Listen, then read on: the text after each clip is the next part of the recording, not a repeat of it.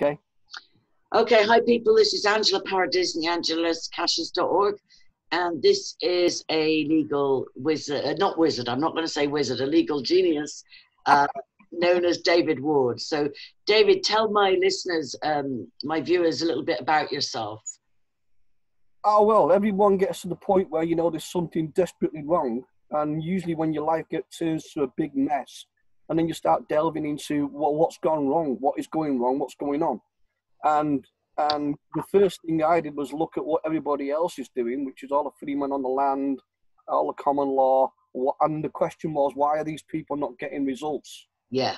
Okay. Yeah. So I, I had immediate problems to deal with. Um, one of the first sites um, that I did find was a, a website called Get Out of Debt Free.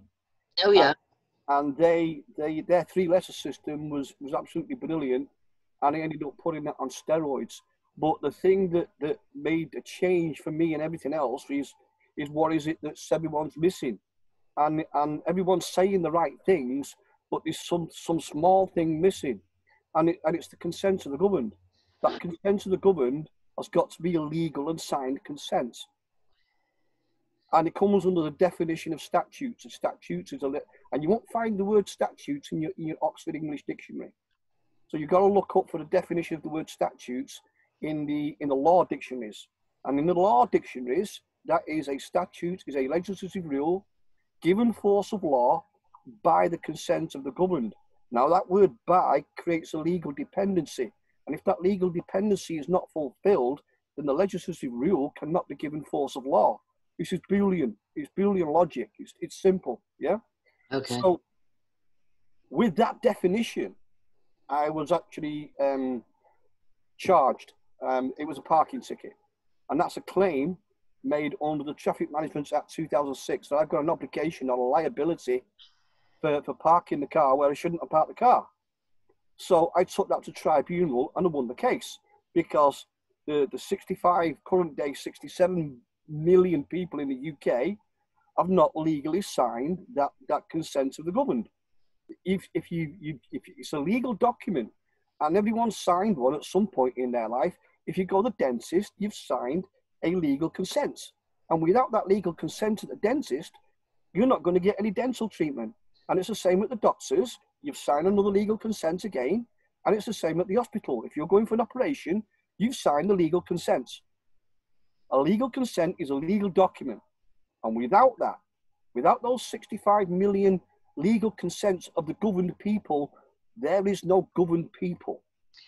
Right. So, based on that logic, that Yeah. um, um, I'm just going to rewind a bit. Uh, David Ward is somebody I was uh, was highlighted to me by Andy Devine. There's a video on my channel called um, Lawful Options, and Andy was very excited about this uh, discovery um, that David made of no consent. So by that logic, and I get it, it's very simple when you say you sign for the dentist, the doctor, the hospital, you know, the hospital, the surgeon, whatever. So if so, if a policeman stopped me for speeding, in order for a speeding ticket to be legal, he would need me to sign something. No. Before the, the speeding ticket can be legal, the 65 million people in this country, or any country, have got to have signed that legal consent before the acts and statutes can come into effect. Okay. So But- bringing the claim for speeding is illegal and criminal because no one's got an obligation or a liability under the 8 million acts and statutes. It doesn't matter which one it is, they're all fraud, they're all criminal. They cannot be implemented. So I'm just asking you to talk to me like a five-year-old. I'm getting it so far, but if if if it applies that when I go to the dentist, I sign a consent form, before you get the treatment. yeah, before I get the treatment. So so how how is it that a policeman cannot gather signatures one by one? So that I know most people wouldn't sign if they knew, but if he stopped you and said you're speeding, you're driving dangerously, whatever, and I don't I don't condone dangerous driving, by the way. But if he stops and says you're speeding, can you just sign here to confirm that I've stopped you or whatever? Is that not a viable way for them to trick you into consent? Well, that's tricking someone into consent. You know, you've got to give your consent in full knowledge and understanding of what you're doing. Tricking someone into consent is not legal, it's illegal. It's Okay. criminal. because you're being tricked. It's fraud. Okay. Is your affidavit too long for you to read out, or is it is it very long? The one that was it one that you discovered that made case law, or did you make case law? I made case law. Okay, tell us a bit about that, then, if you can. Well, Where, whereabouts in England are you, by the way, if you feel like saying? Just I'm- roughly. Co- Lancashire. Um, well, I was born in, in Lancashire, uh, but then they changed the boundaries and it became Cheshire. I was actually born and lived most of my life in Warrington, which is between Liverpool and Manchester. Okay. Yeah. Yeah, my my English nana was from Whalley Range. Yeah. Uh, but then my grandpa moved with Fords down to Dagenham in Essex. So, uh, and I had a sister that had a place in Manchester as well. I just recognised the accent from part of my family. It's, it's Uh. northern, you know. Um, I'm a northerner. Yeah, Yeah, yeah, it's distinctive. You can't get away from it. I love it. I love it. So it was to do with the traffic ticket. Yeah, Okay. park my car where I shouldn't park my car. Yeah. So that's a claim made under an act. So we're ta- we're talking a live event, we're talking actual case because I took that to tribunal. Right. Okay, and I won that case in tribunal. Right. So now I've won a case in tribunal using what I just said about the legislative, the legislative rule given force of law by the consent, the legal consent, and I won it on those terms, on those grounds, on those facts. Wow. Right. So that puts every act and statute in the bin. It does, doesn't it? Now that was a, a formal government legal tribunal. The government can't escape this. Wow. Now, when I got the results of that tribunal, it's, it's I didn't actually go to the tribunal, and I wasn't going to have a telephone tribunal because you know I've done a lot of research, like people have. You know, you can get berated and, and you get bombasted, and you can get just flipping run over in in the courtroom. So I don't go to the courtroom ever. So I did it by correspondence. I did it by mail. Yeah, Yeah. that's what Andy Devine was saying to me. Keep it on the paper. Don't go near the court. Keep it on the paper. Don't go in the room. And there's a reason for that because everyone talks about the straw man. Yeah. Well, it was a straw man, the Mr. David Ward, the person that won that case. Okay. Okay. And that spins everything backwards from what everyone's saying that the straw man, the person, belongs and is owned by the government or the crown. No, he is not. She is not. It is not. Right. Because that formal requirement that you've signed and given your consent has got to be in, in effect before there can be a government. Okay. So the government is totally illegal. Okay. Okay. Yeah, I can. I can. I can hear that. So, are you saying that the the straw man can change laws or set precedents, and therefore, how do you feel about a live life claim? What do you think about that? Well, it's in the wrong room. It's like you're taking a set of drafts to to a um, a chess match Okay. because the courts the courts are a business. It's a, it's a company. There's a, a before I got to the affidavit, which is the affidavit you read in, the won the case law, but to to to make that bigger, to have, to give it more impact and more effect, I drafted together a 65 page affidavit, and in that affidavit there is the the statement made by um, Chandran Kukathas, PhD of the London Institute of Economics. Now, this is this is government doctrine. You can cite this guy on what he said with a definition of the word states from if you're a law student on a law degree, and you can use his reference it, uh, because it is doctrine and facts in in your thesis. Okay. Okay. And Chandran Kukathas gave a definition of the word state. Now, we do have a Secretary of State. Right. The government is a state, and a state is a company. And that's the definition of what the word state means. Okay.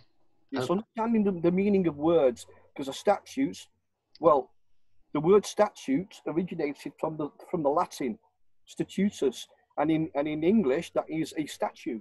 It, it's it's you know an um, a statue, and you cannot have a statute a statue obligation.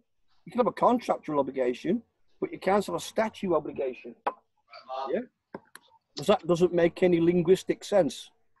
Okay, yeah, because I heard that reference before that a statute came from the word statue, and I, I studied Latin at school, very basic, but I did, and I didn't I didn't get the connection. I thought that was a miss a That's because, that's because there is no connection. It's an oxymoron in language.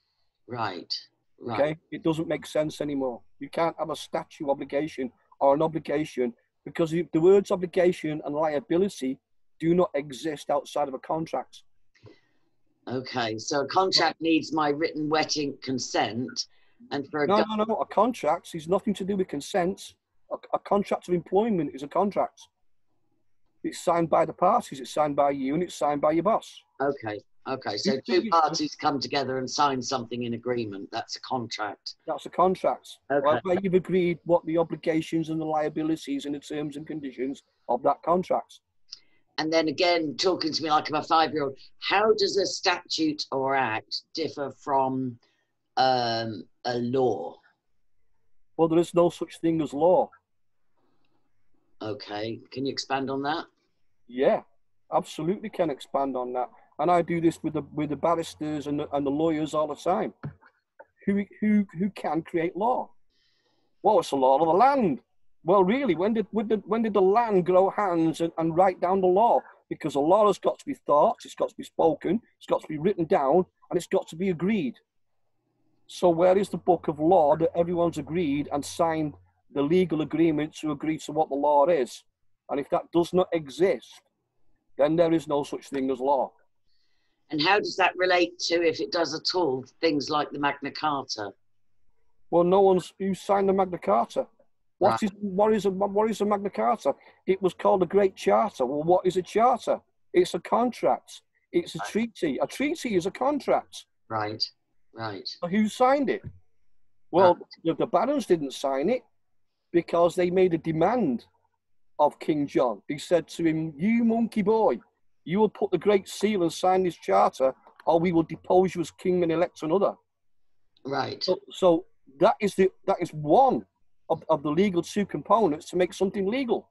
Okay. So, So- it's not legal. The Magna Carta, first of all, is not legal. Yeah, Okay. and people go on about legal and lawful. Well, if it's not, it can be legal but not lawful. Well, no, it can't be legal and not lawful. If it's illegal, it's unlawful. It's an oxymoron that people jibber jabber in language. They Okay. get trapped into a rat's maze. Okay. All right. So um, on this, so therefore, when we vote, are we giving? I asked Andy this, and he said no. But when we vote, are we submitting to being governed? Are we No. giving away our consent or power? No, because it's not legal. An X in the box is not legal. Um, and if, if that was true, okay, if the vote tied us in to a contract, then I could not have won the case on the grounds that I did, on the facts that I did. Okay. So the vote goes in the bin. It can't both be true at the same time. Okay. So have uh, other than a parking ticket, have you used this law in anything else? Yes, every time someone makes a claim under an act, I've used it 38 times. You've used it 38 times successfully. Yes, Wow. but never in court. Don't need to go to court again. You've always done it on paper. All on paper. Do you agree with Andy that my first step should be to print out your 65 page affidavit and serve it to the two detectives that are um, investigating me? No, serve it on the guy that, that, that started the investigation, The complainant. the complainant. I don't formally have an address for him, and he's trying to allege harassment um, against me. So uh, uh, I could try and secure an address and send it registered post, but uh, maybe a, a better way. I don't know. I don't know his address formally. I, Well, is proceedings, you know, has this guy actually started a case? Is there a case in court? He flew to Ireland in June 2018 and filed a harassment allegation against me. I got, I got raided in August 2018. A file got sent to the DPP in January 2019, and a year later, the DPP just seemed to be able to look at it now. They've they've petitioned Google to hand over all my data, and Google complied. They went to court, got a court order to to compel Google to release my data. Okay. So that's So- where it is. there's a guy who's bringing legal legal action in court. Well, I haven't had a decision from the DPP yet. I spoke to the detective, the senior det- detective sergeant, and he said the DPP has everything they need now to make a decision. And he said, off the record, uh, his opinion would be that it looks more likely to proceed to trial than not. So I haven't been informed that it, it, the DPP's made a decision or it's definitely going to trial, but I'm needing to get some ducks in a row first. So there's no proceedings in a court at this point in time? No, not at this point in time, just simply that my tech was confiscated a year and a half ago. I haven't got it back. I got my phone back and uh, the DPP has a file on me and I'm awaiting a decision. Okay. So a guy has made a complaint. Okay. Yeah. Yeah. Someone who makes a complaint, children complain. So as a the thing is, a complaint is, is, is neither either there or nothing until it's formal and official, where there is proceedings in court. Okay. It, it's airy fairy, you know. Well, what what is a complaint? Well, he made an allegation. He made a harassment allegation, and he's got a track record of getting people. He goes in the UK. Everybody he took to, to court for harassment, somebody got nine years, somebody got nine months, somebody else got nine months, somebody got sectioned, somebody got gagged. Do you know what I mean? He's had he's had a hundred percent success rate up until now, and this is the Republic of Ireland I live in. And he's from the UK. Yeah, he's a UK citizen, and um, so it's out of his jurisdiction. Yeah, that's one of my arguments because also with Brexit, like Ireland is still in Europe, and England no longer is.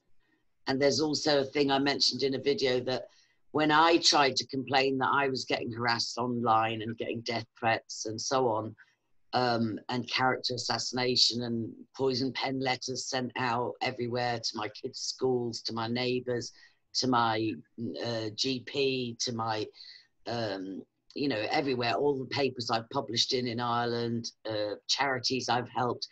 Uh, there must have been about 50 poison pen letters. When I went to make a complaint about online harassment and death threats, I was told there is inadequate or no legislation in Ireland to deal with that. So this guy seems to have have some pull with his friends yes. in, in, in the in the what we call a criminal institution of government. Yeah. Yeah, definitely, definitely, very very highly connected. Kind, I've I've alluded to him before as a sort of um, Jimmy Savile type, very well connected, uh, very very powerful people. Um, all these people aren't powerful, and I stop them in the tracks most of the time. In fact, all the time. Um, so a complaint isn't. So who's complaint? Who's a DPP? Some of you, because it's like Ireland. Director of Public Prosecutions. I think it's a lady. I think it's a woman. It was the last time I checked. Um, Ireland's got no government at the moment. Um, we had an election, and there were three different parties nobody had a, a majority to rule, and they're still jiggery pokering around about coalitions. So at the moment, we don't have a government technically. We only have a caretaker government. Well, we, we, we've never actually had a government because that's the part I was getting to in, in the affidavit that I put together after winning the case law. Oh, yeah. Oh, okay. And, and that second part, the, I'm going to call it Exhibit C in the affidavit, is the fact that Chandran has confirmed the fact that a government, that a state, sorry, which is the government, is a company no different to McDonald's. Okay. Okay. And the second part of that Exhibit C is, is this fact. Um, um, the Lord Chief Justice Sir Jack Beatson, FBA, gave a speech in the Nottingham and Trent University in 2008. And, in and this is a documented speech. It's on the judiciary's website. But you can go find it and read it if you go to Jack Beatson's speeches in, in Google, you'll find this speech. Yeah. Um, and in that speech, he confirmed the facts that I know. I will. I'll quote the, the, the actual paragraph verbatim. His words were, um, "Due to the changes in 2003, it became necessary to reevaluate the relationship between the judiciary and the two stronger arms of the state the legislative and the executive. Okay. Which means, in simple layman's terms, that the office of the judiciary is a sub office of the state uh, because of the two stronger arms of the state, which are two offices above the office of the judiciary. So, first of all, there's no separation of powers like the, the, they've maintained for, for hundreds of years.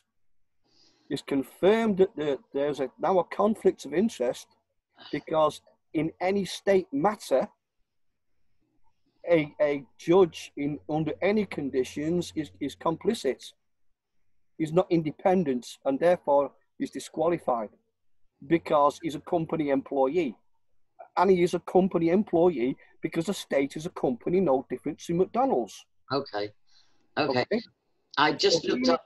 Sorry. So being, so being in the third office down of a company, which is no different to McDonald's, the judge has no more authority than the janitor at McDonald's. Wow. Yeah. So you're talking two doctrines there, which cannot be disputed by any fucking government. Excuse the language. The the A, it's a company by Chandran Kukathas, which is doctrine, and B, the judiciary or the Lord Chief Justice is a janitor. Okay, wow. So he's got no authority. I just looked up who the DPP is in Ireland. It's a woman called Claire Loftus. Um, so you know, and we'll see. We'll see where that goes. Now, another another question that's. That's, he's, he's instigated a complaint where now you're going to have the public prosecution in the, in the UK. But that would be the Crown Prosecution Service. Okay. yeah, he's trying to bring this case in Ireland. It's the Irish police and Garda Síochána that went to the district court and got a court order for my data to be released by Google. Mm. Trying to bring these proceedings in the Republic of Ireland. Well, when the government doesn't have any authority, because 65 million people or the people in Ireland have not agreed by signing the consent to be governed, first of all, the government have no authority, the police have no authority, and the judge has no authority. And how can this not collapse society as we know it? Well, the society as we know it is run by genocidal psychopaths. it will be a good thing to collapse society as we know it. and would you call yourself an anarchist? Absolutely, outright anarchist, because the word anarchist is means self-governance. It doesn't mean running riot up and down the street. And what do you think of the direct democracy movement? Complete, absolute rubbish. There's never once been a democracy ever. Because if you think about what democracy is, if there's 100 people being democratic and you've got 50 and 50 of, of each side, then you've got a stalemate. It only takes one person to change sides, and that's one person making a decision for, for the democracy. And the other 49 people are going to get pissy about that. The only, the only true democracy is a democracy of one. One. My democracy is my democracy, and your democracy is your democracy. And any ideology of, a de- of there actually being a democracy is a hypothetical concept in the abstract, which is total bullshit. Yeah, if I if I as a as a person consent to any laws, it would be the Ten Commandments. I'm a Christian, but that's well, I wouldn't I wouldn't consent to them either because the Ten Commandments was actually crafted. Now let's go back to that because you know I was brought up by a devout Christian Catholic family, so I actually know my Bible very well. Okay. Um, Moses went up the mountain alone. Now, who is Moses? Moses was an Israelite, but he was raised by the pharaohs to be a terrorist. He was groomed. Yeah, he was. Yeah, he was groomed. So Moses, first of all, is a terrorist. A terrorist. A terrorist. He was groomed to be a terrorist and to to dominate over, over the Israelites. Okay. By the, by the use of fear. All terrorists use fear. Okay, so the Ten Commandments don't instill fear in me. I'll try a different angle. Um, how do you feel about the, you know, the do no harm, no harm, loss, or injury, that common law thing? How do you feel about that? Well, I agree because the, the, the if you do no harm, loss, or injury, yeah, yeah, then you've done no harm, loss, or injury. Therefore, you've not committed any crime. Okay. But if you have committed some crime with some harm, loss, or injury to someone, then who has the right to redress? The victim has the right to redress. Right. You don't have the right to redress. Right. I don't have the right to redress. The Okay. victim has the right to redress. Okay, so therefore the police are, and this is what Andy was saying, the police are a, a mediator that, that has that I haven't consented to. Well, they can't mediate because they've got no authority. Okay. Okay. So I don't have Ricky Dearman's address formally. I've got a couple of addresses from researchers, but I haven't gone public with them and I haven't checked them. So if I wanted to serve that affidavit to Ricky Dearman, the best hope I'd have would be of serving it, uh, you know, dropping it to the police that say they're acting on his behalf, investigating, and asking them to forward it to him. Because Well, they, if, if there's an investigation and you know this woman's name for the DPP, therefore you send it to her address because that's a public address. oh, okay, So you send it to him, care. confidential, care of her. Okay, all right, that's a good But now you've got a direct link to him. Okay, good. Yeah. Okay, and and so you don't think the live life claim is is relevant? Should I go ahead and file a live life claim, or is that not relevant? It's completely irrelevant. You, you're taking a set of drafts to a chess match. It's in the wrong room. You, it- a live life claim is for the living. Yeah. Yeah, Well, the only one that can be heard in the courtroom is the dead guy. that's what Andy said. That's why he said I should file a live life claim, but I'm not going So, to. so the judge, as being as a- an officer of the state, he can only hear acts and statutes. He is deaf to anything else. Okay, Legally deaf. He cannot hear or read or, or acknowledge a, a, a live life claim. okay. So then, living. with that logic, if I got forced into court, supposing let's just play it out, supposing I got arrested and forcibly presented in a court, in that case, it would be good to have a live life claim because then the judge can't deal with me, right? No, absolutely not. And it's still completely worthless. And you can, I, and I do destroy these people. I was arrested. Okay, I have been arrested. I am. I'm. This is not a strange experience to me. I got thrown in the in the paddy van, dragged round to the magistrates' court. Apparently over in Ireland uh, court. No, I'm. I'm not thinking about another guy and someone else. I was in the magistrates' court in my socks, no belts, in front of the magistrates. Okay. Yeah, it's true. I've been there. And I walked out 15 minutes later. Wow. And, and what did you say? Well, for starters, there's no warrant for my arrest. Okay. And they can't arrest you without a warrant. Okay. And you're in that box under duress. Okay, this is a difference between walking into a courtroom of your own volition, Yeah. actions, words, and deeds, and being dragged into that courtroom. Okay. So it's under duress. Okay. you're under duress, yeah? And when I got, sorry, didn't mean to interrupt And, you. and then I destroyed the, the, the magistrates. How? How? I don't want to use the word destroyed because I'm a peaceful person. I wish. No, no, no. You Yeah. cannot be a peaceful person when you're dealing with terrorists. Fire with fire. Okay. And okay. being a peaceful person and a tree hugger is not going to help anyone. Yeah, I wouldn't say I'm a tree hugger. I you- want you- justice If for. you're in that box, if you're in that glass box, you've got to get all 12 barrels out and be prepared to use them. Well, I will. I will fight for my freedom, but more so for free speech, and even ultimately for the children's case to be to be properly for the children to be rescued. I, I my bottom line is stop abusing children. Uh, you know. Right, every parent can rescue their child, and it's quite simple. Okay, well, the the mother of the children of the case, this this Ricky Dearman that's alleging harassment against me, he's the father of the children who disclosed in the Hampstead case. The mother tried to keep her children safe, and they were kidnapped, effectively kidnapped from her. She was asked to bring them to the police station voluntarily to to continue The their mother- disclosures, and then they kept them. The mother does not know how. There's a difference between knowing how, and if she does not know how, she can't. Okay, so tell us in again in simple language how. Sorry for that Illuminati sign. Um, a writ of habeas corpus. Okay, I've seen them succeed, but I've also seen them fail. Like Field McConnell of Able Danger, they tried to serve a writ of habeas corpus to get him out, and it got it got ignored.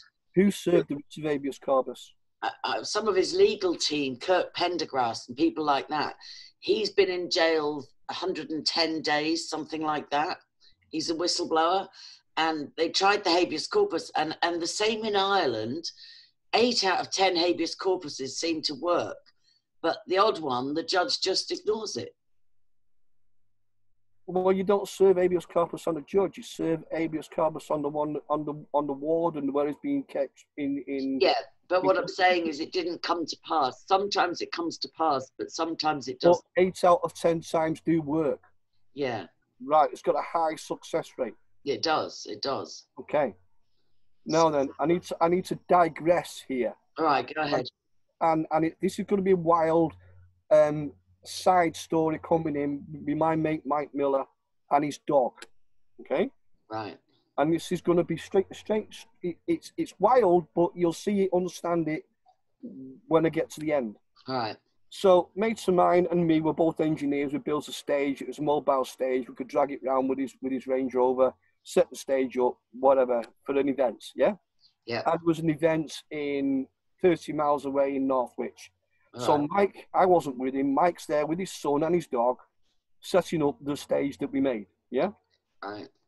his dog, um, no collar, no lead,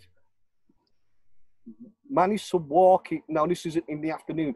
He managed to walk into the, the, the vets on the high street where they're setting up stage. Yeah.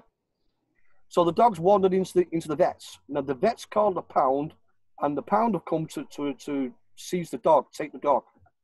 And his son Charlie, he saw it happening and tried to stop the guy.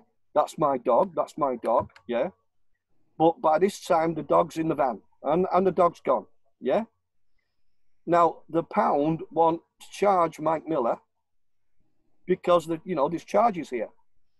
They, they want to charge him to pick the dog up and they got to, you got to come and get, and, and, the, and the keeping of the dog and what it costs to keep the dog, you know, it's going to cost him quite a few, quite a bit of cash. And obviously, Mike doesn't want to pay this because, so Mike wrote a letter to the chief of police yeah, for, for the, the area in. And the next day, the chief of police uh, phoned phoned Mike up. The day after, who's that? Is that me or you? I think it's me. Let me just terminate it. Sorry about this. I don't think I can minimize it on recording. Hang on, it's me. I'm going to decline it. It's a friend of mine, Mike. Okay. Um, so the next day, and the, the chief of police phoned Mike up. Yeah. Yep. And after a discussion with Mike, he said, "Look, my dog has committed no crime. All he's done is wander into into the into the vets, and now he's been incarcerated. He's been detained. That's an illegal detainment. And within and within hours, that dog was transported from 30 miles away by the dog pound people and said, "There you go, there's your dog." Because it would have threatened their whole business. It would have. It would have collapsed their whole business. And this is the whole point of an habeas corpus: is when it's an illegal detainment. right. That's the function of an habeas corpus, and an habeas corpus is under statute, so they can't ignore it. Okay. Yeah, Even though statutes are illegal because there's no. in consent. their world, statutes are law. In Right. their world, okay. There's a company called um, Robert Lizars, who are criminal defence lawyers in the UK. It's a big firm. right. So if someone's been incarcerated or awaiting trial, yeah, Yeah, On remand. on remand, yeah, Yeah. then uh, Robert Lizar's go out to this guy wherever he is, yeah, Yeah. get him to sign over the um, power of attorney to them. Yeah. Then they issue a writ of habeas corpus and get him out of jail. Every day, they do this every day, Right. every single time, So if. because because they're a law firm. Right. Yeah. Right. Now then, what what's actually transpired there? They've gone to the place where he is. Yeah, they are now using the detained person's power of attorney to issue a a, a writ of habeas corpus. So the guy has actually got himself out of detainment. Right. Yeah, because that's the power of attorney. Right. Man now in that world of bullshit, in that world of criminality, in that world of statutes, it's the man. Don't forget, we're talking about the straw man here. It's the straw man, as well as the man or woman, that has the, the power of attorney. The company does not have power of attorney. This is why, whenever you walk into a courtroom or whenever you go into court, they want you to use legal representation because right as soon as you give legal representation you've signed over your power of attorney to them Yeah, you're declaring yourself incompetent. You've declared yourself incompetent, and they've got your power of attorney. Yeah. Court as your power of attorney, and they can do what they want at that point. Yeah, They've got the legal authority to do so. Yeah. But if you don't give them power of attorney, then you're what's called a litigant in person. yes, Now it's litigation. right, And litigation does not mean you've got to agree with a judge. right. So let's go back to when I was arrested without a warrant and he took me into the glass box and there's three magistrates. And I'm first thing I'm saying is I'm here under distress. right. Under duress. Where is your warrant? Where is your warrant for my arrest? Right. Because without that warrant for my arrest, any proceedings in this room today are illegal, criminal, and a willful and belligerent acts of terrorism. This is why you need to know the words Right. and Will-. Say that last thing again. A willful and what? Belligerent acts of terrorism. A willful and Word- belligerent act of terrorism. It's the word belligerent Okay. Which is important. Okay. Okay, Okay. that has that has immense meaning in in their world of bullshit Okay. because it is a fabricated world of bullshit. So if you get taken into their, do you believe in this thing of it's a ship in dry dock? If you get, No, complete rubbish. That's all jibber jibber jibber jibber jibber. Okay, there's a lot of seeded crap. There's seeders. Kate of Gaia was one. There's several of these people. Um, Maxwell, Jordan Maxwell, UCC. Seeded jibber jabber crap. Absolute nonsense. And this is why Law. all the people that are free man on the land, all the common law people, all the Magna Carta people, all these people, thousands, tens and thousands of people, failed for the past two decades or more. They've all failed. They cannot get a repeat process procedure that works every time right. because they're all talking the same jibber jibber jibber jibber jibber, and it's all bullshit. And so the flags and the and the gold, uh, whatever tassels on them and all that is just all all white noise. The the flags and the what? The gold. You know, they talk about a flag if it's got tassels on it. Is it tassels? I'm not using the right word, but anyway, Okay, a flag a flag with gold braid round it is is a um, admiralty court. okay. Uh, but you're saying that that's irrelevant. That whole argument of of ship in dry dock and No, it's got nothing to do with the ship in, in dry dock. It's a military court. Okay. All right. All right. Okay. So Phil McConnell, they haven't been able to get him out, but then his camp is all arguing with him with each other. They're trying. Pendergrass is trying common law, and somebody else is is somebody tried Well, habeas Once Again, corpus. you're in the wrong room. This, this, this is a dead room with dead people talking. But if that's the because- case, that's why I want to understand why you don't hold any um, weight to the live life claim. Because if it's all dead people talking in a dead room, surely Well, a dead, live life claim. dead- dead people cannot talk to someone who's alive. Can't hear you, can't see you. Yeah, so then why what's your objection to the live life claim then? I don't understand that. because you're taking a set of drafts into a chess match. It's in the wrong room. It's completely wrong. So which room You would live go life into that room. I go into that room. I am Mr. David Ward, the person. I am that legal fiction Right. because it was Mr. David Ward, the person, that won the case law. Right. And you, judge, have got no authority unless you can show me the 67 million formally agreed acts, uh, led the consent to the government. And if you can't do that, judge, you're a terrorist by default. Have a nice day. Fuck So- off. So if I went forward with that same basis, because Irish law is different from English law, I would have to different. It's not any different at all. Okay. Is there elections in, in Ireland? Yeah, there have been just like two weeks ago. Right, right. There was there was an elections in the UK a few weeks ago. Yeah. Yeah, you know because you know um, Boris. Oh my God! Don't get me started on Boris.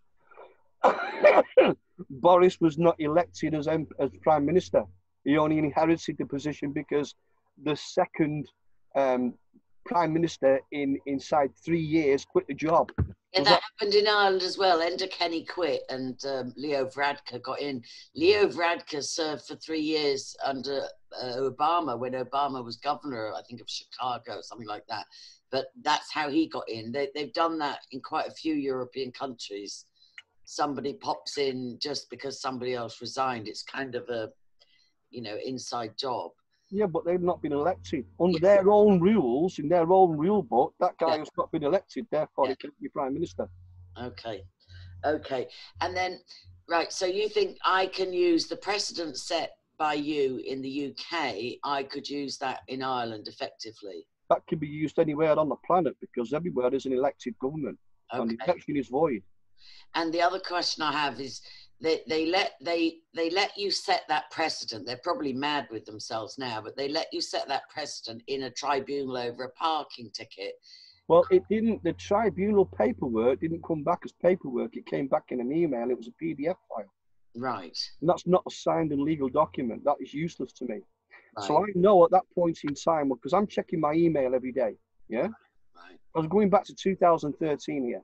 Yeah. So I'm checking my email every day for the results of this tribunal, right. and all I've got back is an unsigned document right. where the adjudicator's secretary is, is just sending me a notification that the adjudicator had said that I had no liability under the Act, no liability to pay the PCN, which have got no liability under the Act. We're back to the words liability and obligation now, which is all contracts. right. Right. So I've got no liability on you. but that's not a signed document. It's a PDF, and even if I print it off, it's not got any legal signature on it. Right. So now hang on, let me stop there because I'm not finished. The very next day, and this is the critically important part. The very next day, through my letterbox came a letter, a document from the Borough Council, from the government, yeah, which is a, a declaration of, of no contest. And it is signed with a wet ink signature. wow. Now we've got legal, legal agreements. Yeah. That is now a contract. That is now a legal agreement signed with a declaration of no contest that the government have got no authority. Wow. So that one piece of paper is all anybody on this planet needs. That's amazing. Now then, having won that case, having got that piece of paper, and with the additional knowledge that I already knew about Chandran Kukathas confirming the fact that the state is a company, I've now got a legal document confirming the fact that the government are not a government. Because with if there's no material evidence in the form of the legal signed consent of the government that there is any governed people, then there cannot be a government because you cannot have one without the other. Right. So I took that, I put it inside an affidavit with the Chandran Kukathas, with the, the Lord Chief Justice, and a load of other stuff. And I sent that an affidavit to 657 MPs in office. Okay. Now, an affidavit is another legal document, it's another legal process. The affidavit serves one function and one function only. It's, it's to solidify and create an agreement, a valid legal agreement, because it's a legal document. You're basically saying, these are the facts. Now you've got 28 days to rebut or redress or prove to me that I am wrong. Okay. And the whole function of an affidavit is if they do not or cannot, then there is a formal and legal agreement to the facts. Right. So now, with the affidavit itself, yeah, there is a formal and legal agreement to the facts 657 times Right. Because nobody rebutted it. because it can't rebut the facts. Okay. Okay. So so my so that's where the precedent was set. You got the legal document, you put it in an affidavit. I've set three legal precedences. I've set 657 legal precedences, not just one anymore. The formal agreements is to all of the content of that affidavit that the government is a state Okay. and the state is a company, that the government have got no authority. That's the case law that I won. That the judge is a sub office of the state and therefore is a janitor. Right. So none of these people have got any authority without the legal agreement or consent of the government. Now let's go back to the use and function of power of attorney. They want you to have legal representation where you give that lawyer power of attorney. They they go they go mad for that. Yeah, when I, when I to the police, it, when they, in, I went in voluntarily and gave them a two and a half hour videoed uh, statement of facts after the harassment uh, allegation, and then they said, if this goes to trial, it will be released to your solicitor, and uh, I'm I've, I'm also entitled to a copy of the statement that the complainant made, and again, I'm told that would go to your solicitor. And I, I, I remember saying at the time, I, I probably won't uh, have a solicitor. And they're saying, oh, no, you'll get legal aid. It's all right, blah, blah, blah. But I don't want a solicitor because I don't want to declare myself incompetent. no, because you're going to retain your own power of attorney. If you give Yeah. your power of attorney away, this power of attorney is the most powerful thing that anyone can have. What is it that the government do not have? They don't have no one signed, right? You, the, the power of attorney that you give away is your power of attorney. Right. Okay, when you give it to that lawyer to represent you, apart from the fact you've declared yourself an imbecile, Yeah. you've given your power of attorney away Okay. so that the so that the lawyer can represent you. And without that power of attorney, no lawyer or barrister can represent you. Right. Government do not have the people's power of attorney, so the government cannot represent us. Okay. Okay. So tell me this. These are all legal signed documents, and without the legal signed documents in evidence, there is no government. Right. So I can cite the precedents you've set in Yes. in my paper argument. And will it be No, no, no. This is not an argument. okay? Arguments is something that can be argued against. Okay. These are facts. Okay. Affidavit is a fact. Okay. So I will submit. Uh, no, you know, you're not submitting. Okay. Yeah, because You've got to stop you every time you use yeah, one of these. words. Yeah, yeah, right. yeah. Yeah, words. I get it. The, I get it. The power of words. The So I of will. I will dispatch to Claire Loftus, the director of public prosecutions in Ireland, so called, uh, a printout of your 65-page affidavit and a cover letter from myself um, saying, "Kindly forward this to the complainant, Ricky Dearman." And um, uh, what else should I say? Oh, oh, we're going to get good. This is where we're going to get real clever. Now, the only thing that he's going to come against you with, or it appears to me that he can come against you with, is the fact that he's he's claiming that he's his business has suffered. It's economics. Yeah. Yeah. Um, what you we were having a a, a, a text conversation as to what is is actually claiming that, that you have exposed. I don't know. All, I- all I've been told is harassment. I've been told harassment. Yeah, he's making a claim of harassment, but on what grounds? What's his material evidence that you are harassing him? And and all, all I got from that conversation, which was text, is is the fact that you've been finding stuff on companies' houses. I haven't released any of that yet. That's very recent information. I only sent you a copy of that. I haven't gone public with that. And a lot of people have uncovered connections to uh, yeah, it's public knowledge. If they've uncovered from formal from from public sourced information, companies' Right. house. that, that is not cannot be considered or construed as harassment No. because it's public knowledge. Okay, good. Okay, Yeah. so this There are more and more documents coming forward confirming that. There's there's very strong indication of uh, uh, you know based in in their courts of impropriety at the very least. That's a polite way of putting it. There's very they're gonna they're gonna try and screw every and, and skew everything to their benefit. You know, in words with you know making a claim that that that you know Yeah, he's trying to say that that by, by my keeping the case alive, um, you know, it's it's ruined his life. It's ruined his ability to make a living. It's ruined his reputation. right, that's commercial. This is the point I'm trying to get to, and that means it's civil. This is not criminal; it's civil. right. Defamation of character is is jibber jibber jibber. But I haven't defamed his character. His children made approximately 30 video disclosures of horrendous abuse against him and others. right. Those, So those videos were leaked online in 2015, and then the police alleged retraction videos turned up online. And uh, hundreds of millions of people viewed them around the world.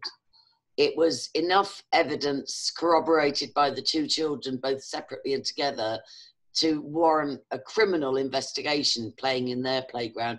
But it was heard in a secret family court, and uh, all it warranted was a 12 day fact finding mission. And there was vast cover up, there were refurbishments of all the alleged crime scenes. There were no forensic examinations. Um, it, it, was a travesty from beginning to end. But I've never gone after him. I've simply kept the children's testimonies alive until they get properly dealt with. Which they can't do. Not in that context of what you're thinking about, where where the children are going to be kept, they're going to get properly dealt with. And the reason is this: what is it that Jack Beatson said, the Lord Chief Justice? Lord Chief Justice confirmed the fact that the Office of the Judiciary is a sub office of the state. So anybody above him in that company hierarchy, in the executive office, the Lord Chief Justice himself has got no jurisdiction over. Okay. The janitor of the school cannot find out of superiority above the headmaster. Right.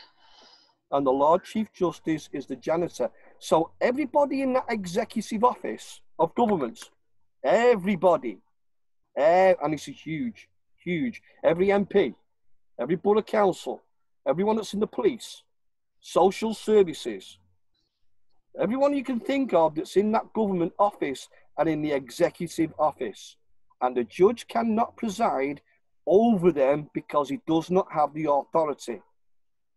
Okay. So there's no court on the planet where there can be a hearing regarding these children where a judge can preside over someone who is his boss.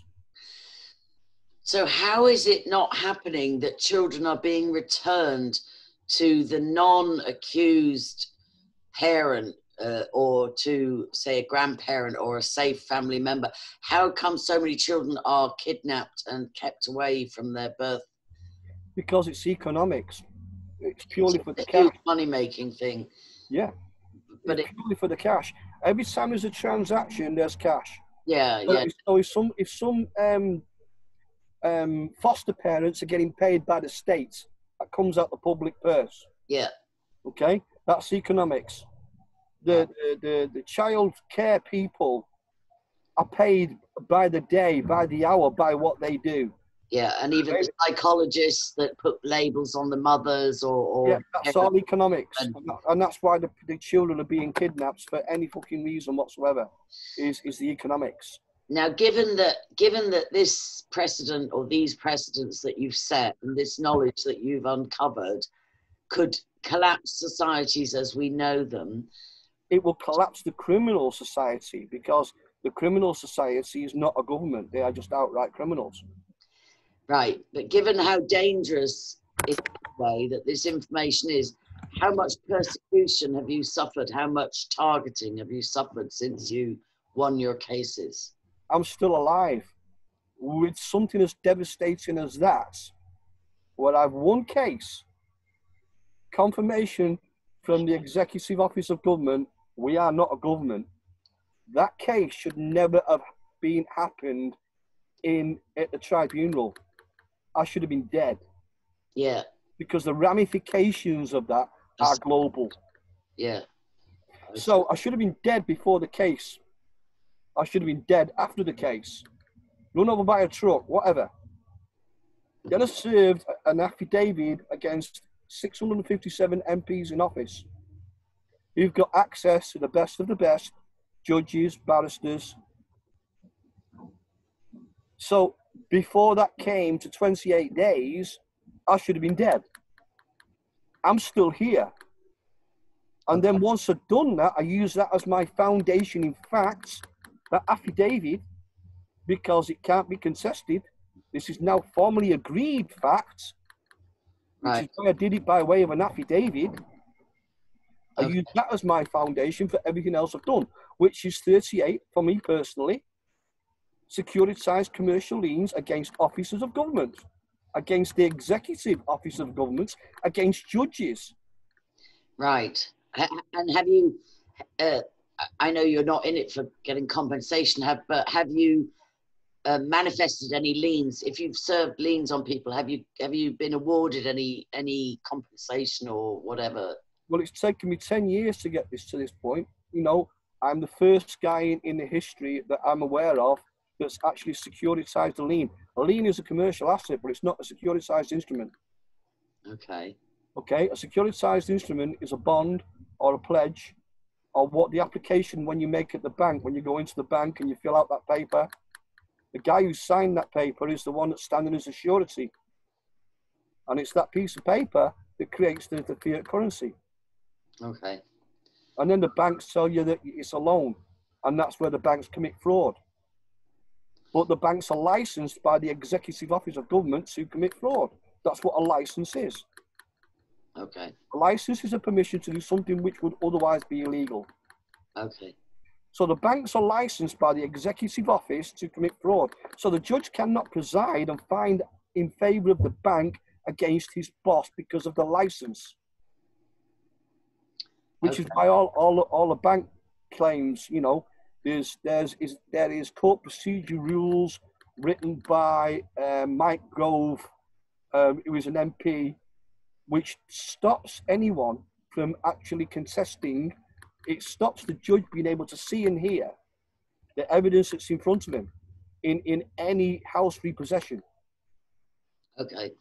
Uh, when when when I was raided, um, they they brought what they called a warrant, and they I asked to see it, and um, I got bad eyesight, so and I was so much in shock that I was thinking I'll read it when they've gone. I just said, "Is there a wet ink signature on that?"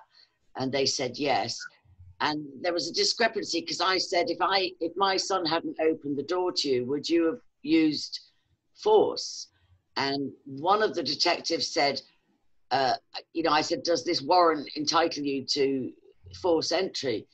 And the detective, the lead detective said yes. And then another detective said, oh no, but we would have gone and got that.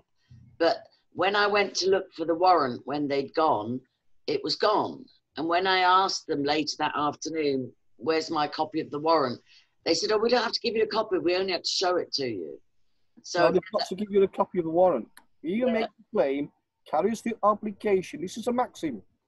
I use this maxim every single time in every securitized lien that I've done. We're talking 38 liens against the executive officers of governments, judges, barristers, lawyers, bailiffs. right, Okay? right. I use this one maxim every single time because a maxim is a maxim in fact. He who makes a claim carries the obligation to present the material evidence of that claim. So the police has claimed that there is a warrant. He's got to present it to you. To He did present it to me, but I didn't. I didn't. I wasn't calm enough to read it, and the writing was very small. Take it Well, off him. I did, but then I didn't know they took it away again. When I was all flustered and it was horrible, there were five detectives in my house. I'm a very peaceable citizen, you know, or not citizen. I'm a very peaceful human being. Oh, person. yeah, it's very distressful when they bust your door down. Yeah. Well, they didn't do that because my son opened the door to them. But I, I had planned on studying the warrant and putting it online after they'd gone, and they'd taken it with them. And they told me that was their legal right. They didn't have to leave me a copy. I think that's another thing they said. Jibby, Your jibby, jibby, jibby, jibby. They all give you this jibby, jibby. It's their legal right. We don't have to do this. Here. No, they don't. He who makes a claim has an obligation. That's a contractual obligation because he's made a claim Okay. to give you that warrant.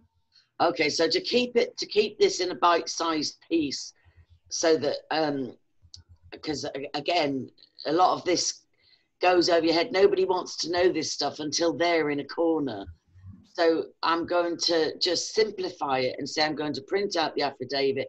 I'm going to address it to Ricky Dearman, care of the Director of Public Prosecutions, and I'm not going to consent to any uh, attempt to put me in a court or if I go if I'm taken to a court, um, it will be under duress. If I'm arrested, it will be under duress and, and therefore invalid. We're going to add to that Okay, go ahead. do more. We're going to use the, and I, this is something I've actually done myself as well, Okay, because I've had lots of legal proceedings, yeah? Okay.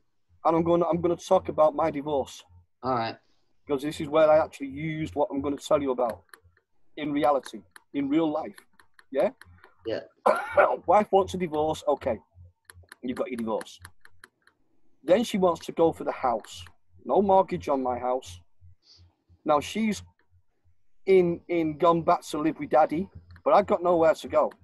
Now a house is joint and several, which means it belongs 100% to me and it belongs 100% to her. And she's got no legal grounds to throw me out of my house. Okay. I paid for the house. It's mine. And I've got nowhere to go. So I'm not going to let go at your whim to, to live on the street. It's not going to happen, lady. Have a nice day. So they start the legal proceedings in the courtroom where their lawyers gain the capability to sign documents on my behalf. And I don't care. They can do what they want. Yeah? Because I'm just waiting. You know, I, I, I accumulate and then I act because I have knowledge. So then we get to the point where I've now got a court order from District Judge Latif directly to me. You've got to sell your house. It's a court order for me for me to sell a house. So I wrote a letter to her and her lawyers. I don't care about District Judge Latif. Okay? And I implemented the contempt of court reporting restrictions. Now these are these you can no write that down. Well, right. I'm going to use this video for reference. Okay. Absolutely. Contempt, look it up on Google, find it. Contempt of court and re- reporting restrictions and go to the civil section. Yeah? Yeah. A judge cannot implement the use of force in a civil matter. It doesn't say that in so many words, you've got to read it very carefully. But a judge cannot implement the use of force in a civil matter because to implement the use of force in a civil matter is an act of terrorism. And the contempt of court reporting restrictions restricts the judge, and the judges know this. The Right. judges know that they cannot implement the use of force in a civil matter. So I used this, I downloaded it, I, I, public, I printed it off, I referenced it, and I said basically, so District Judge Latif can take a long walk off a long pier. Thank you very much. Have a nice day. Yeah? Yeah. In other words, take one, do a runner, monkey boy. Okay. Yeah? Yeah. You got that? That's exactly what I did. And I signed the document and sent it to her lawyers and her. You know ah. what their lawyers did next? They made an application for penal for contempt of court to a different judge in a different town in Liverpool. Wow. And guess what the judge did? No chance. Have a nice day. This is a civil matter. Right. Wow. Right. Wow. Contempt of court and reporting restrictions does not allow the use of force in a civil matter. Wow. So it doesn't, as long as this is a civil matter and it is going to be in economics, he's going to make a claim that he's lost income with his claim against you in court. That's civil. Okay. So you're going to, you, before you get to court with the affidavit, you're going to include that and say, see this guy directly, do what you want to do, monkey boy. Don't give a shit. Because A, your affidavit here it is within this document confirms the fact that the state is a company and the judge has got no jurisdiction because he's just a janitor. It's right there in black and white, confirmed by the 657 MPs and therefore formally agreed. Yeah. Okay. And, they- and there's no one giving their consent and agreed to the government. And the government do not have power of attorney. The government do not have power of attorney, which is why they always want you to have be represented by a lawyer. okay. That power of attorney is critical. So your judge has got no authority. I'm implementing the, the, the, the the reports and restrictions. Basically, you're pissing in the wind, monkey boy. Have a nice day. Fuck off. Right, because in the in the secret 12-day fact-finding mission for Yeah. these children, there were reporting restrictions, and the judge only allowed two selected uh, media, mainstream media newspapers to report. And as soon as she, as soon as it finished, their reports of her judgment instantly appeared in the paper, it was preordained, um, and Yeah. she and she forbade others. You know, th- this reporting restrictions thing is used a lot with taking children off of mothers. Yeah, but that's reporting restrictions where they are binding the, the reporters, report, putting restrictions where the court is putting restrictions on reporters. That's not what I'm talking about. Oh, okay. I'm talking about the contempt of court reporting restrictions restricts the judge from using contempt of court because if he holds you in contempt of court in a civil matter, that itself is an act of terrorism. Okay. And you can drag his candy ass down to the Queen's Bench, to the to the to the RCJ, the Royal Courts of But Justice. it'll be Ireland. I'm talking Ireland. So, Well, so- whatever the same is in Ireland. Yeah. Yeah. yeah, the four courts. Yeah. The foot right, whether whatever that is, because you're going to charge the judge for being a terrorist. Okay, good. All Yeah. right. All Which is why, which is why we can we can serve the judge, or serve him, notify him, yeah, about the contempt of court reports and restrictions in a civil matter. Basically, a judge can take a flying leap. And then just on moral grounds, as a divorced woman, I never claimed I never claimed anything off my ex. I, I went to mediation. I was in the four courts and I had a legal team and barristers and everything set. And uh, he had an inheritance that I was entitled to half of, and so on and so forth. And he begged me and said, um, you know, we're both Christians. You know, I'm not going to do the wrong thing. Let's not do this through court because I'm getting no legal aid and it's costing me a fortune. So, like a mug, I said, okay. And we went to mediation for six months and we wrote a contract that we both agreed to. And when it came time to sign it, he said, I just want to show this to my family. And I've never seen it since. And I had said, anything I'm entitled to, give it to the boys, give it to our sons, you know Mhm. alimony. And when his dad had died, his dad had told me ahead of time I've included the grandchildren and named the grandchildren in the will. And he he my ex messed the whole thing up. My children didn't get their inheritance and they didn't get anything, you know, anything like the 50% that I would have been entitled to. I think there's something sort of morally questionable about wives putting claims in on or any, or even husbands putting claims in on their spouses inheritances. You know, you see that in Ireland where somebody might have had a farm for generations and then there's a divorce and then the wife wants to force the sale of the farm, collapsing the whole generational continuity of the land, you know. But morally, if you're divorced, and, and I get your argument, you don't want to have no roof over your head, but do you see that you know your wife even though you bought the house with perhaps paper money but your wife contributed to that is there anything that you did give her or would give her for like for instance when you die she'll be entitled to half that property presumably Well, I no longer live in the property because the government stole my house anyway. oh you lost the house Yeah. wow That's another story. But the fact is this on a moral basis alone, why should the woman be able to do that to a guy using the courts when the guy is going to end up dead on the streets of hypothermia? yeah no no spouse should put their partner on the streets homeless that's I, Well, if I was forced to sell that house, where would I live? so you didn't sell it they stole it off you No, no, no. Her lawyers didn't manage to sell it. I boxed them up so hard and so tight they could not sell it. right Okay? Right The, it's the government that stole my house. oh. Well, And that- it was the Board of Council that stole my house. More orchestrated fraud, but it's still theft because there's no mortgage on my house. And how come the laws that you used couldn't stop that from happening? Because, first of all, they're not laws that I use, and let's face it, The precedents you set. How the precedents I set are legal precedences. How does a legal precedence and documentation stop terrorists? Because you've got a terrorist government been in, that's been in effect for 800 years, and they are terrorists. People say, or people have come up with the idea, well, if you wrap it all up in a trust and they can't touch it, well, the terrorists are going to come and take it anyway, because they are terrorists.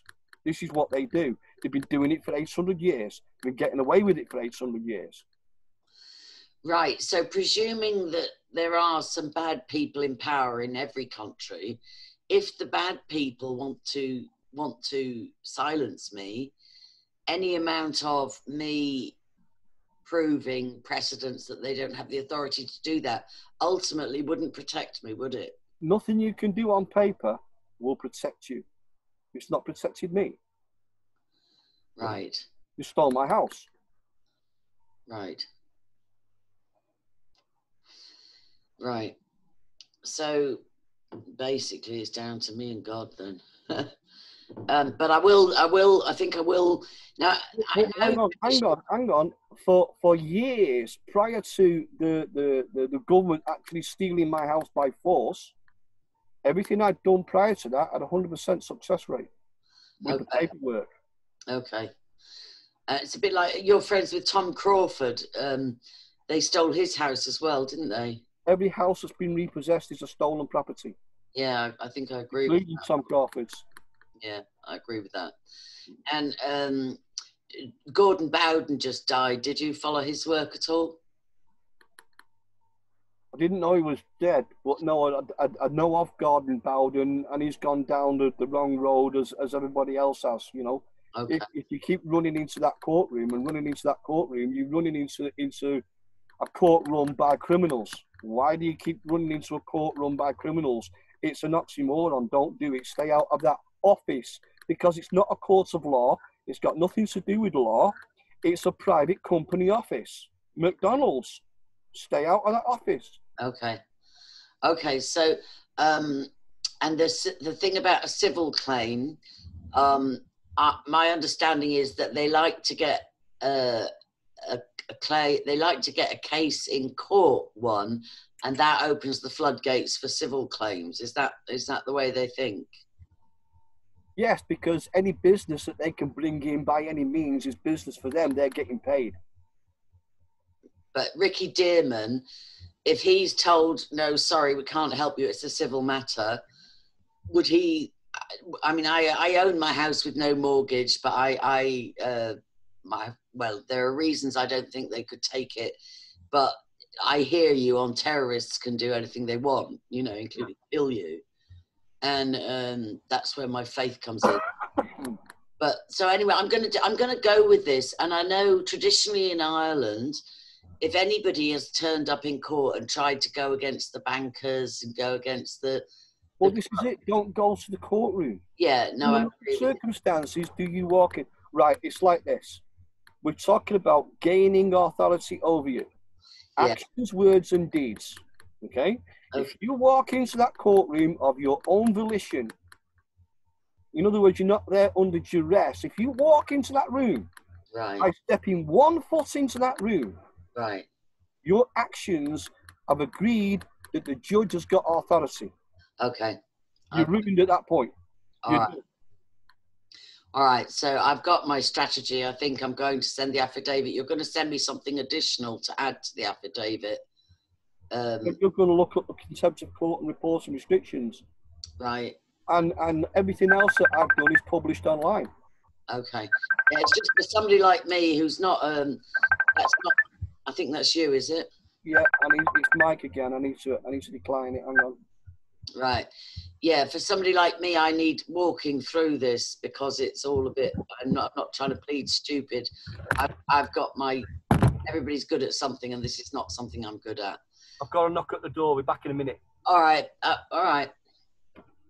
So this is scary stuff, people. And as David rightly said, he's won 38 cases, but he lost his house. Um, so this is this is uh, scary stuff, but I'd rather um, I'd rather do what feels like the right thing, and it definitely right from the get go has not felt right to retain solicitors, um, you know, and and uh, so this yeah I'm, this is the path I'm going to take. I'm going to submit the affidavit to Ricky Dearman, care of the Irish Director of Public Prosecutions, and I'm going to research this um, contempt of court reporting restrictions, restricting the judge from implementing use of force in a civil matter. And we'll see where it goes from there. And you'll, I'm not sure. I, this is the first time I've met or spoken with David, and um, I'm not sure whether he's a believer, but I am. So ultimately, uh, Psalm 91, you know, and Isaiah 54, no weapon formed against me will prosper, and every tongue that rises up against me in judgment I will condemn and show to be in the wrong. And uh, you know, I, I, I am a peaceful person. I, I think the word anarchy is misused. I think anarchy. I, I, you know, I had a boyfriend once that was involved with Stop the City in London in the seventies, and a sort of violent protest. That's not who I am, um, and I think it's not who most, certainly most women are. But at the same time, I I would defend my children with my life, you know, and use any means necessary to defend my children. I'm gonna I'm gonna wind this up for now, David, and um, and get on to doing what I need to do. And as I say, I might be ahead of myself because at the moment there is no the DPP hasn't come back with a decision. And the, just one last question: Do you recommend that I keep the um, evidence video of financial uh, anomalies from Companies House. It, it sounds like you said I'm not breaking any laws or harassing anybody because all that information is publicly sourced. Is that right? Well, exactly. How can you be breaking any laws or harassment when it's all public knowledge anyway? All right. So, I'll if you for harassment or defamation of character or anything like that, okay. only going to be able to come after you on a commercial basis, which is civil loss of income and and uh, you know if his i would say his loss of income started with his beautiful children's disclosures, you know. So yeah, they they disclose that, not you.